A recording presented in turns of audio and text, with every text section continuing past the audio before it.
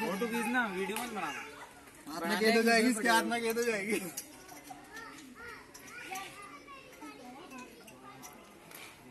अब खींच ले फ़ोटो जितना